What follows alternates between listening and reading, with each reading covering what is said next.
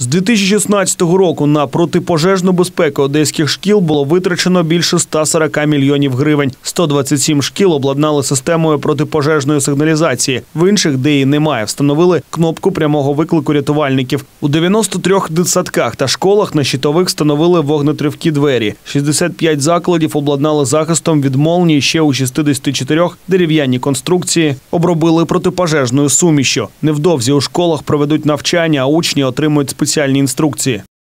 Найбільш ефективними є е, евакуації часткові, коли дітей не виводять зі школи, а доводять до конкретного пункту виходу. Вони наразі пройдуть в наших закладах до 20 числа. Шляхи евакуації та запасних виходів з будівель у вигляді схем будуть розташовані в усіх е, щоденниках наших учнів. Їх вивчать з дітьми на уроках, на класних годинах і на батьківських зборах.